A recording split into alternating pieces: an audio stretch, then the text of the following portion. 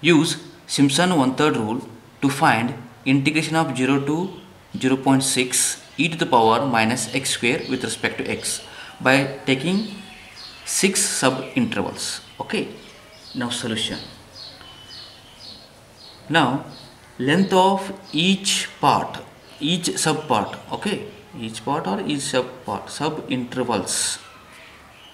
Now h is equal to now a to b, b minus a divided by n, b means 0.6 minus 0 divided by n, uh, divided by n.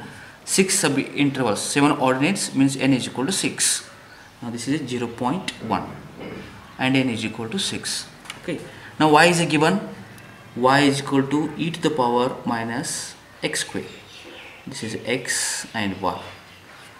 Now the point is a equal length 0.1 now first is 0 okay? 0 to 0.6 the width is 0.1 0.1 0.2 0.3 0.4 0.5 last one is a 0.6 see 1 2 3 4 5 6 7 7 ordinates 6 equal parts.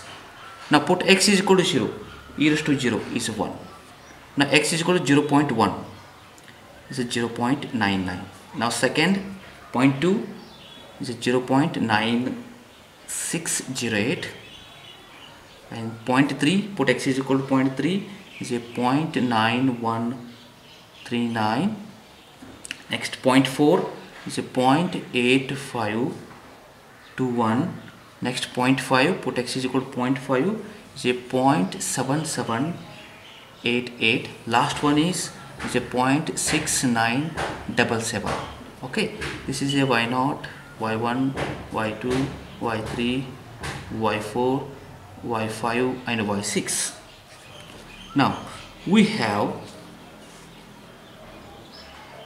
Simpson one third rule. Okay one third rule is integration of a to b y dx is equal to one third rule means h by 3 so one third rule initial value plus final value. Final is a y6 plus 2 into even numbers. Even numbers means y2 y4 only. Don't repeat the values. Y2 y6 sorry y4 y4 plus 3 into remaining variables. Y0 is over. Y1 y2 is over. Y3 y5 plus y3 y5 okay. Now substitute the values h value is a 0.1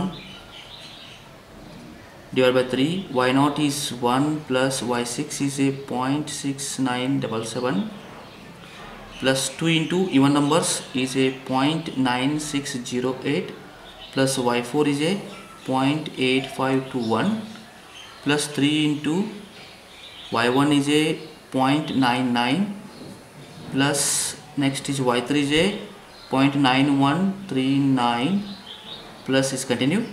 Y5 is a 0.7788 okay. Now integration of